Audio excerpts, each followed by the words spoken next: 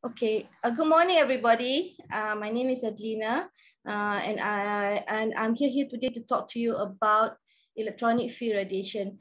Uh, thank you very much, Dr. Yoga and Dr. Suresh, for actually uh, calling me to come here to assist with this particular topic. Uh, I have to introduce you a little bit to why I went into electromagnetic field radiation studies.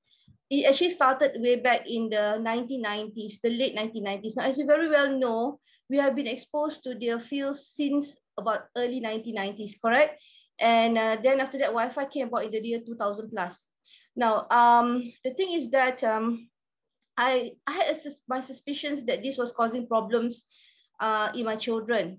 But initially, when uh, I actually contacted uh, now called MCMC, and actually they came to the house and they actually did measure um, the electromagnetic field radiation that was going into my children's room which was actually from the antenna that was placed on the sec on the roof of the second floor of a shop building. It was facing directly into my son's room, my children's room. Okay, so at that time they were measuring it. Uh, uh, they didn't have this. Okay, this now measures uh, in micro. Okay, in micro levels because at that time they're using the normal watts per meter square.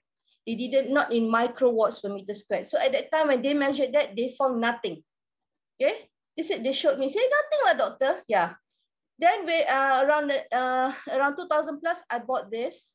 And at that time, I moved my house to another house which had a, a cell phone tower, a telecommunication tower, just 50 meters from my house. So when I bought this and I measured it, lo and behold, the microwatts per meter squared was measuring at about 3,000 to 5,000 microwatts per meter squared. So now I'm going to tell you actually um, what, what I found out from, I will not tell you what I found out from my studies. I've got five studies that I did.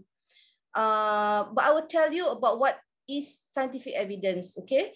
Uh, because um, my my publication is have there's only one public public publication from my studies. I have not managed to do much more of that because I couldn't uh, obtain a grant to continue my studies. So just to tell you, um, this is what I found uh, from the wide reading that I had, okay? So bear with me for a while. I'm just going to explain to you a little bit about electromagnetic field radiation is the energy transmitted, lah, okay? It's energy transmitted at certain frequencies and wavelengths between two objects. Now, we ourselves have got electromagnetic fields, okay? Now you should you should you should note that I'm saying this is because uh, because we are moving at a certain frequency. When there is another frequency coming in, do you think it will affect you or not? And because it will be it will be coming at another frequency. Okay, so it's just you have to rationalize yourself and think. We have got our own. What are we made of? Okay, we are made of out of atoms too okay? And the field that's coming in is actually moving, vibrating, and it's actually vibrating and coming in, okay? And it's coming in from all these devices now. Now that you're staying at home during the COVID and working from home, you're exposed to this most of the time. I am exposed to this between 8 to 12 hours in a day. Okay, so what do I, so how do I feel? What do I do? Sometimes, you know, you, I'm not, I'm not going to say what, because you know what, you ask yourself, do you have any, any effect or not? Don't you feel tired? Don't you feel it's difficult to sleep? Don't you sometimes get palpitations? Then you say to yourself, it may not be due to this. It may be due, to other things. But the, the thing is that we have to also, okay, there you need scientific evidence, but we also, also ask to, I have to ask ourselves, what does our body say? Okay, right. Of course, these ones, you know, a high voltage transmission line, there's got a lot of uh, the, the effect you already know. But the ones that is actually still controversial is those that coming from the tele telecommunication antennas. Okay, right. Now, it the the thing is that uh, this particular um, this particular uh, electromagnetic field radiation is actually uh, the type of non-ionizing. Not it's not like X-ray, whereby you definitely know that has an effect. So this is it is actually like something like microwave. So you know microwave also you cannot stay in front of it. You're not supposed to. There is a mesh there to protect you against the microwave inside it. Okay. Right. Okay, so uh, just listen to, okay, just imagine yourself to be uh, in this environment for eight to 10 hours in a day. because this is what actually is the sound of what you are experiencing daily.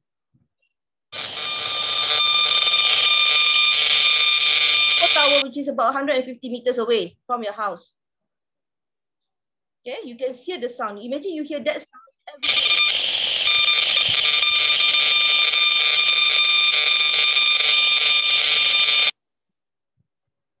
Okay, it is a complex combination of high-pitched whine and irregular rat-tat-tat.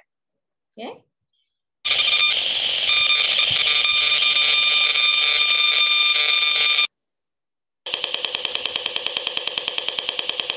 Modem. the one that you have your Wi-Fi modem all around.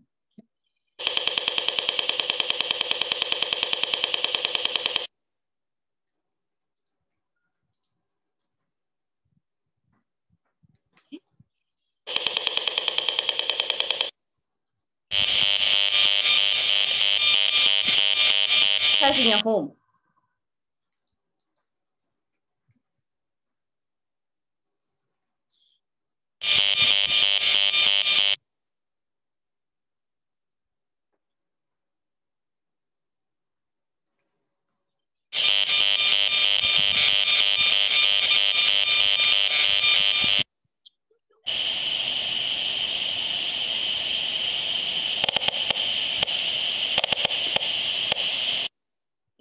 Smart meter.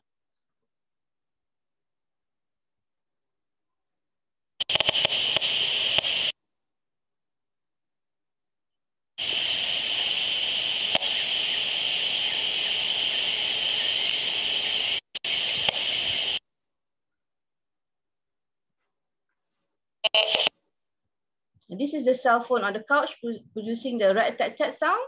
Okay, and it is actually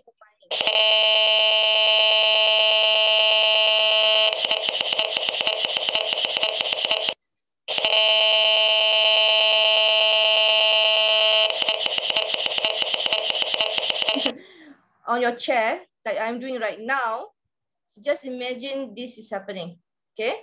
And you can imagine how it is, your, how would your body respond to that if it was something that you could hear it every day. I'm sure you're not going to sit there for a very long time.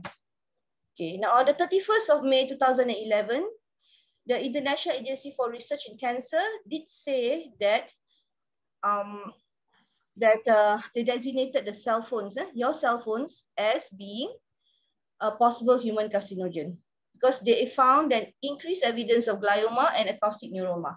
All right. Now, on the 16th October 2013, uh, the IARC also assist, told the WHO to adjust it to class one carcinogen, but they never did that. Okay, and this was actually from uh, Huddle and Cover. Now, uh, there is this thing called electromagnetic hypersensitivity, which actually can induce people who are sensitive. It's something like an allergy. You can get from mild symptoms to very severe symptoms such that they have to change their lifestyle. These are the characteristics of that, that problem, but it has been debunked by WHO. Until today, this has not changed. They say there is no such thing as a clear diagnosis criteria for this health problem, neither is there any scientific basis permitting the connection of EHS symptoms to EMF exposure. Okay. Now, if supposing it is true that EHS is not connected to electromagnetic field radiation, then why in 2011 the Parliamentary Assembly Council of Europe adopted a report by the European Committee for Safety of Non-Ionizing Radiation about the potential dangers of electromagnetic fields and their effect on the environment, saying that they, you have to pay particular attention to electrosensitive people. Can I remember that the one that 2005 WHO did not change. Okay, right. Now, this was uh, from the uh, Firstenberg document, which I've taken, and you can actually look at it uh, they have not changed it since uh, it was first published in 2011. Uh, is the document number 272. And if you go to the website, you can read about the shocking truth about electricity and EMFs. Arthur Firstenberg, he's the, also the author of The Invisible Rainbow and explains the relationship between our health and electricity and EMFs. If you look here very clearly, you will see that you will see that at around uh, 1000 microwatts per meter squared, is that the neurological system will start to be affected. Some links have been made with Alzheimer's and EMFR, but uh, like I said, the studies that have been published, a lot has been debunked. Okay. So uh, what is the most that is scary is the leakage of blood-brain barrier at around 10,000 microwatts per meter squared outwards. Okay. Now, these are the biological effects uh, that are actually 13, oh, sorry, 14, and you can read it up later on, okay? And some of these, uh, I'm sure some of you are having this, okay? Because you're spending so much time in front of the field right now, okay? So uh, these are some uh, some others effect, okay? Uh, I have tinnitus actually. Um, uh, I've had it since about uh, 10 years ago, okay? And just to tell you that I'm very interested in this topic because my mother died of leukemia just about two years ago, okay? uh, she had died of cancer. Okay. Now, this one was uh, in India, okay, the Usha Kiran building, whereby they found that the cell tower that was opposing into this building, they found there were six cancer cases in the consecutive force of fifth, sixth, seventh, eighth, and tenth. Okay. Now, uh, in Brazil, uh, they had a, they did a study and uh, actually they found a greater risk of cancer if you live within 500 meters, not 150 meters, but 500 meters of a cell phone antenna or tower.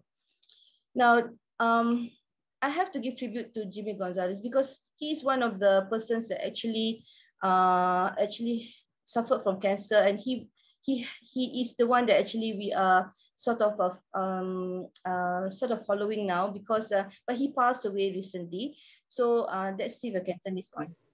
I always held it in my left hand, up against my left ear, and I carried them around in my suit jacket's inner pockets.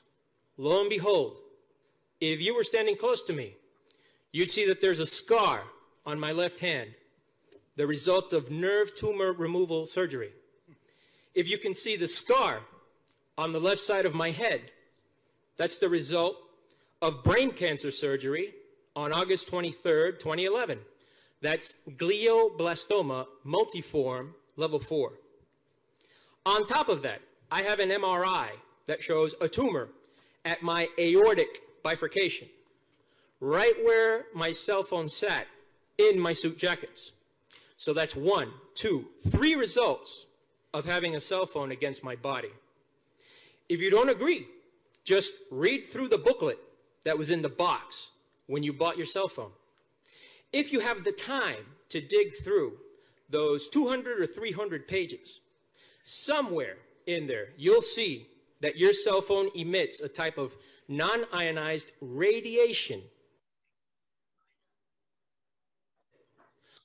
So this is what I'm, uh, is uh, some, if you read, if you read, okay, your booklet in your handphone, okay, for BlackBerry, you see this warning okay?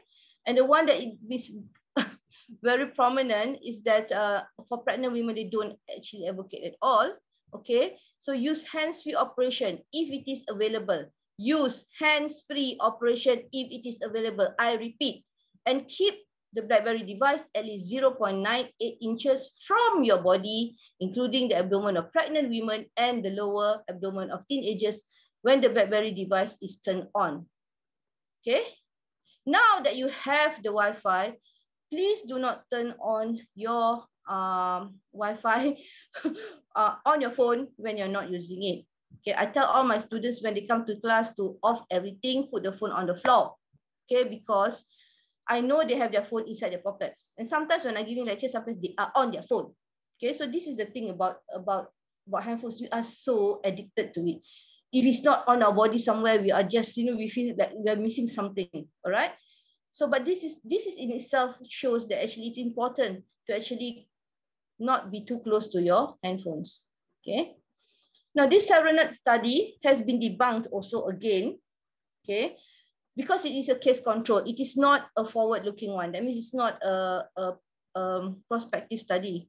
So because it was case control, they actually they actually actually did not find an association, okay, between brain tumors with between those who are users and non-users, but they just found an association between the heaviest mobile users and those who did not use it so much. Okay, there was a significant difference, meaning that there was a higher risk in people who were using the phones more than the phones, people who are not using the phones so much. Okay. Then they did, and there were some more studies after that that found that um, uh, persons who have used cell phones for at least a decade have 30% to more than 200% more brain tumors compared with those who don't. Okay. Now, um, if supposing you're, it is true that uh, uh, electromagnetic field radiation from handphone doesn't cause tumors, then why is it that a lot of legal uh, um, cases actually did win? Okay, and it was a testimonies was allowed. This one was in 2015, whereby uh, this uh, this report, okay, the WSJ report uh, that uh, that uh, they allowed the testimony from the scientists uh, to actually talk about whether EFF, the electromagnetic field radiation actually caused injury and had any health effects. Okay, and uh, uh, our famous uh, Bollywood actress, okay, Juhi Chawla has actually been campaigning for a more stringent mobile tower policy for many years, and she and activist Prakash Munshi actually filed a public interest litigation in the Bombay High Court in 2015. It's coming into legalities now. Okay. Now, earlier, uh, earlier in 2012, the Rajasthan High Court had held mobile phone towers as a health hazard.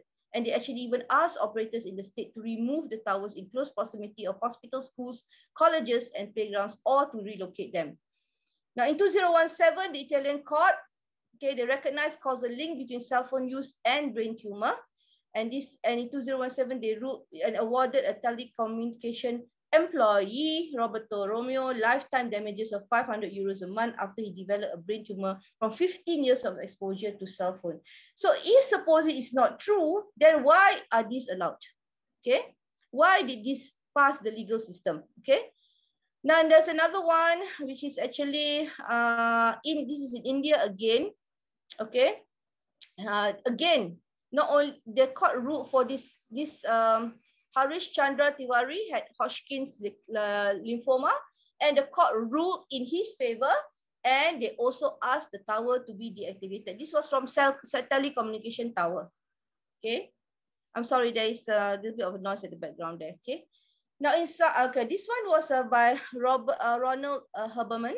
He said that in summary, his review of literature suggests that most studies claiming there is no link between cell phone and brain tumors are outdated, had methodological concerns, and did not include sufficient numbers of long-term cell phone users to find an effect. Since most of these negative studies primarily examine people with only a few years of phone use and did not inquire about cordless phone use. Okay. So then, so therefore, you are going to ask me, so then how, doctor, what do we do now? So this is what you do.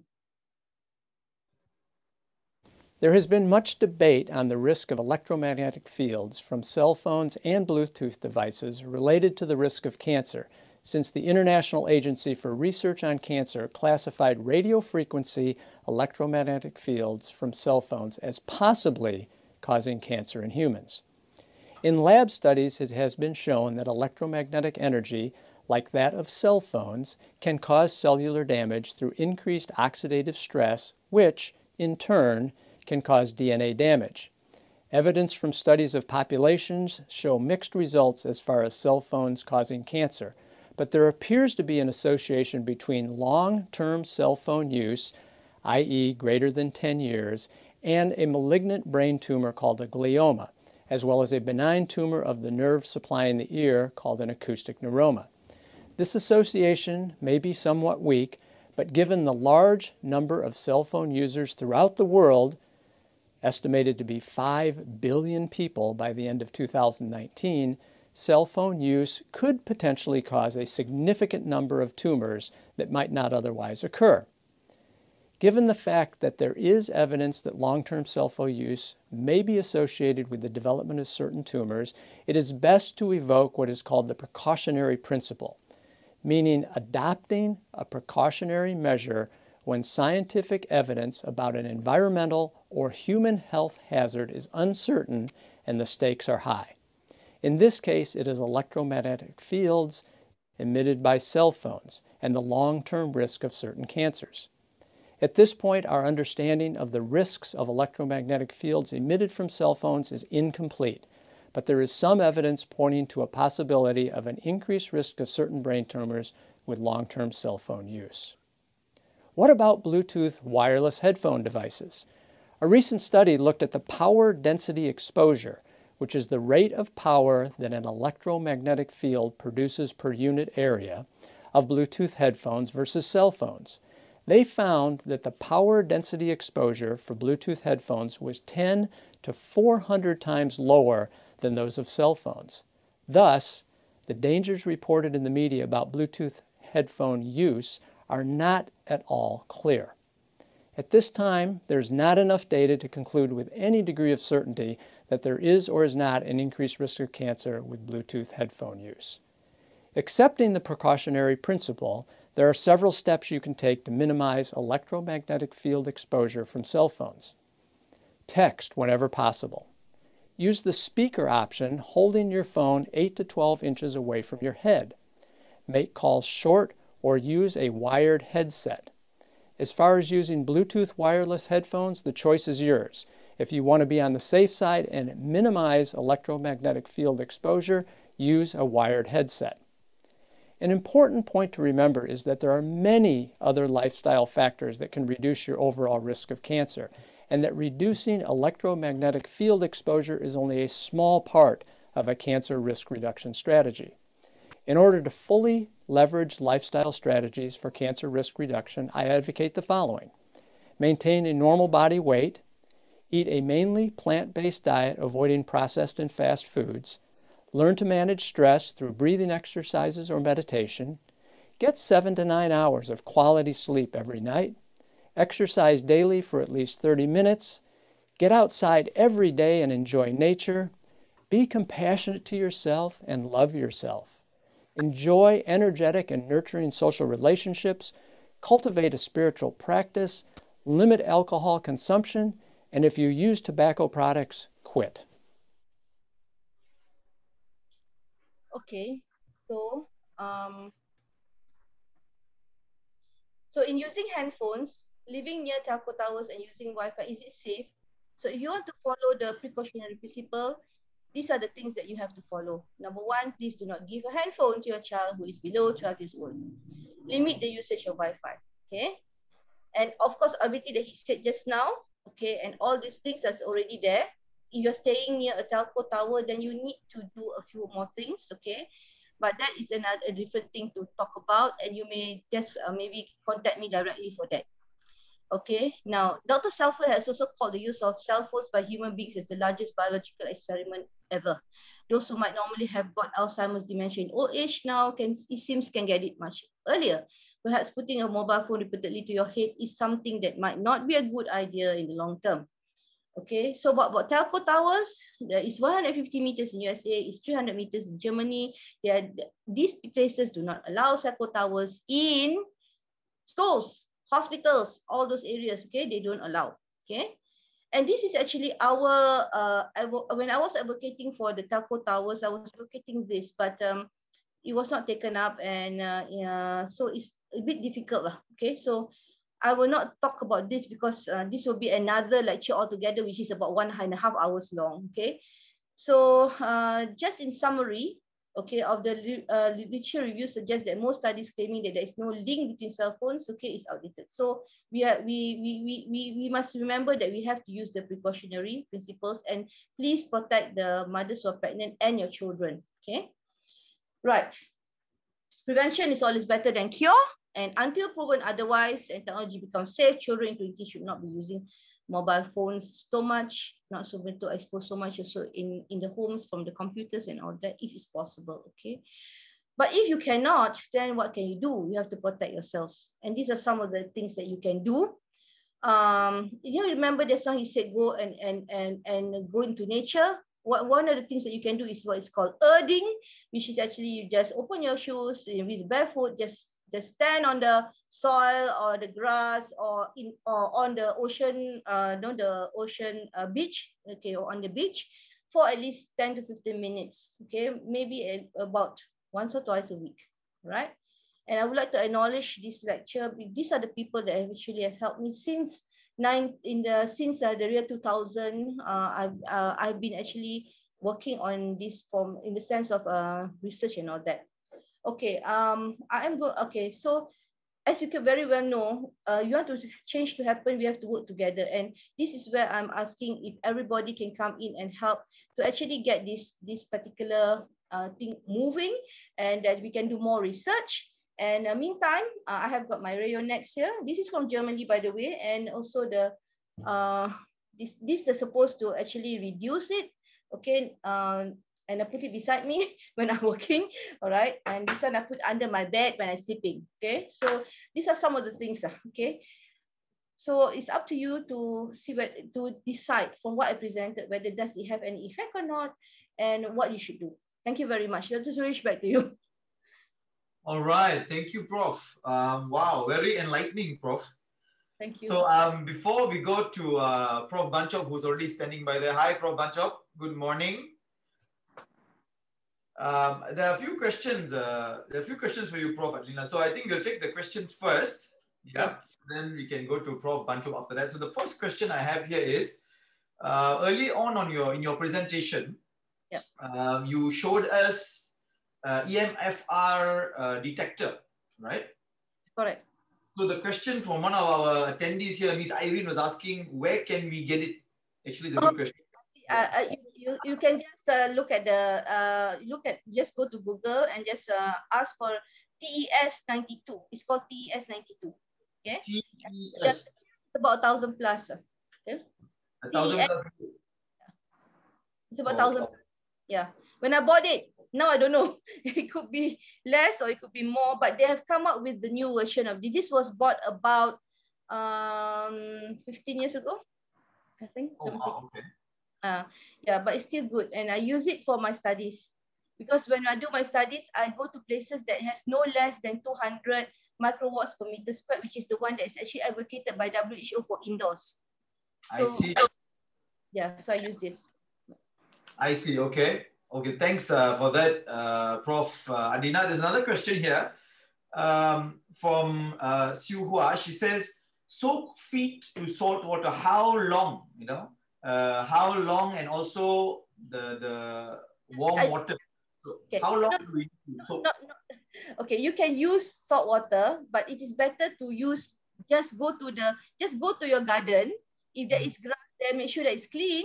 Then open your shoes and just stand on your soil for 10 to 12, 10 to 15 minutes. Okay. okay? I, I go to Port Dickson because the beach is just 17 minutes from my house. So sometimes, uh, you know, so uh, try and go every week, but I have not gone for more, almost a month now. So I just go to my garden and just put my shoes and just stand there. But just make sure that there's no no dog poo or, or cat poo there. Okay, just make sure it's clean. Okay, so yeah, so you can just do that. Or uh, like sometimes what I do is I take a piece of cloth and I put it on there and I stand on it. So that's how you can. That's a called earthing. Right. Is there the any? Sorry, sorry, carry on. So all the bad, so it seems that all the electricity that is, uh, can go down. It's like your, it's like your, it's just like your your plug. It's got an earthing wire. Uh, there's a same thing yourself because you are made of atoms and you have got electricity and you're absorbing all this radiation. So you want to get rid of it. So you go and earth yourself. Okay, that's all what it means. Okay, this is new science. Uh. This is going to be integrative, isn't it? Okay. Yeah. No, but this. Don't ask me the scientific um, apa applications of this because this is this is what I learned from my friends who are in electromagnetic radiation studies and all that. Mm, okay, okay. Um, wonderful. So is, is, there any particular time frame? We do it one hour, one minute, five minutes. How long is enough? They say 10 to 15 minutes. Oh, okay, 10 to 15 minutes. So, yeah. so I, our kids playing outside 15 minutes, 30 minutes with their friends and even longer is amazing, right? Yeah, yeah, yeah. Please ask your children to go out. It's not a matter of uh, get all these things. So it's also uh, it's essential part of health and getting a vitamin D. Uh, yeah. They have come across in Malaysia people who got vitamin D deficiency, even though we are tropical country. So where in the world that means your our children are not going out. Yeah. So that's the problem. Okay. Okay. One more question is. Uh, uh, for example, living near TNB power stations, I know you shared some already in your in your in your slides, but there, there is this, I mean, even local, when I am buying a house also, and I think a lot of our attendees, when they buy a house, one of the things you see is how far is the TNB stations and all that from us. So sometimes I hear stories that they say 50 meters is fine, 100 meters is fine. So you're saying that the guideline normally is 150, but cases have been shown where 500 meters you still get affected. So, um, what's your suggestion? What's your suggestion? Unfortunately, in Malaysia, the, the the the the guideline is only 30 to 50 meters only. Okay, oh, it's from telco towers as well as from the TNB line. Okay, that's but the TNB line actually the electricity line, the high power electricity line actually uh, it has been actually advocated it should be actually three uh, three to five kilometers away. Wow. More than your your cell uh, telecommunication towers. Okay. Okay. Again, there's this disclaimer. Uh, thank you, Dr. Yoga, for giving the disclaimer. So you please read up. These are all inside uh, in the internet or that. But the, the one that was uh, the one that told me about three to five because my house is about um 3.5 kilometers from electricity tower right now. My old house was behind a uh, behind the house was a telco tower, which was just about 50 meters. Mm. So um, uh, it is not uh, a general ruling here. The, in the country, it is not put as a 150 meters, 300 meters, it's not. So that's why the telco towers is being set up even in housing areas. Oh, wow. Okay. All right. Um, one more uh, one more question, uh, Prof. The last video you showed us, uh, the uh, one of the viewers uh, wants to know what was the name of the speaker? You do you recall the last video? Sorry? Dr. Stoddart. Dr. Stoddart. Yes. Okay, Dr. Stoddart. All right. I just one more one more one more question, uh, Prof. Um, there are also statements I hear where people say if you off your if you on your airplane mode, you know, yeah, that, that reduces your EMF from your phone. Is that true? Off your phone at night. off your phone at night. So I must tell my wife. You, you app, why do you want to find a, eh, you put airplane, air, airplane mode, it's still turning off the phone, isn't it? So what's yeah. the point? Because nothing can happen anyway. So just turn it off. So that means the airplane mode does reduce and does cut off the EMF. Cut Off everything because that's why that's why when you're in the plane you cannot do calls, isn't it? You have to put airplane mode. Okay, but it's the same thing as you off your phone. Right. Yes, you're right. Absolutely. And there's just one more. Let me just see. One more question here is, well, so sleeping is already answered. Um, okay, so you know when we go for medical tests, and some people go for MRI, CT scans, and all that stuff. One dose of that. Okay, is there an equivalent? One dose of that is like how many years of you know handphone exposure or something? Is there some kind of a hard to say because that those are ionizing. So ionizing is different from non-ionizing. This one is non-ionizing. This one, it takes a long time for things to happen. I have not gone into the science of the changes that occurs in your blood when you are exposed to non-ionizing for a long period of time. There have been studies done that actually shows that there is changes in your blood. It can cause hyperglycemia, it can cause a uh, decrease in protein, a lot of things. But I have not gone to that because the topic for today is about cancer. Like I said, I want, want me to give a talk about electromagnetic field radiation, I need, I need at least two hours because there's so many things to talk about. So right. maybe some other time in another platform, maybe Suresh or Dr. Yoga can invite me again and maybe we can talk about it for a longer period of time. Correct, correct. Uh, just, can I just give you one last question, Prof? Is that okay? Sure, sure. Okay, so um, which, is, which is an interesting question as well. Since we cannot really move house as much as we like or as quickly as we want, especially now, what can we do in our home to protect ourselves? Yeah, uh, there are called there are devices that's called uh, that actually can can ride over the waves uh, and actually not affect the quality of the the the the um, electromagnetic field coming in. These these devices, uh, it seems lah, okay, I really don't know because uh, I I did not do any study on them. These devices are called wave riders. They actually uh, cancel out the effect of the electromagnetic field radiation without causing any reduction in the power. Mm-hmm. Uh, uh, you can buy those and you can protect yourself. And of course, like, like I said, uh, you can get all those type of things that's available in the market. All right. Mm-hmm. And, uh, I, sometimes, but then some people say it's just psychological. I really don't know. Uh, some studies have been done by the companies themselves. So you can try that and just putting these devices in your home. The other one is, of course, uh, um, uh, you can actually put Okay, uh, this one, uh, uh, mosquito nets. if you put mosquito nets against your windows, it does reduce the thing coming in. I think it breaks it up. So that's why I've, I've actually measured using this with no mosquito net uh, uh, and with it. And it actually, uh, it's actually lower. So maybe you can try all these things. It's actually like putting up a steel barrier, you know, like you want to block, you know, you know, mm -hmm. this blocking off radiation from the nuclear explosion is something like that. So to, that means you're blocking it with steel and all that. So it, it does do that. So these are several things you can try and do. Lah. Okay.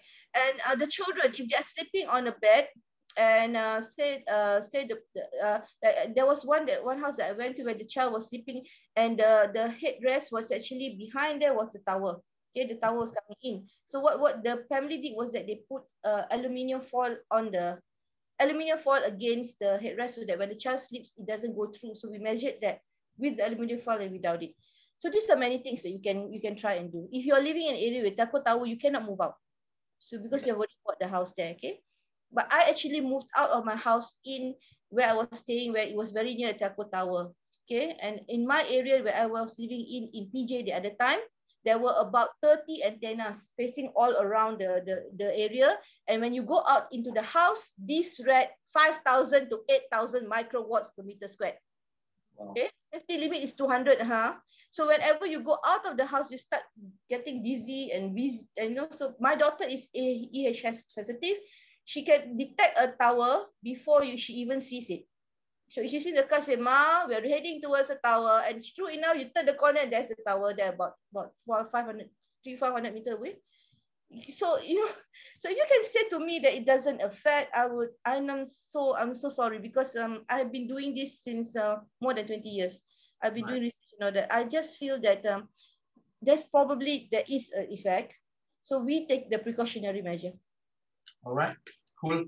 Uh, so I've got other questions, but yeah, we're running short of time. I'm sorry uh, to the attendees, uh, but do give us your questions and uh, we'll try to forward to our panelists and uh, hoping we can get some uh, responses as well. So thank you so much. thank you so much, Prof. wonderful, very enlightening. Um, wow, a lot of changes we have to make, I think. Yeah. So thank you once again. Wonderful.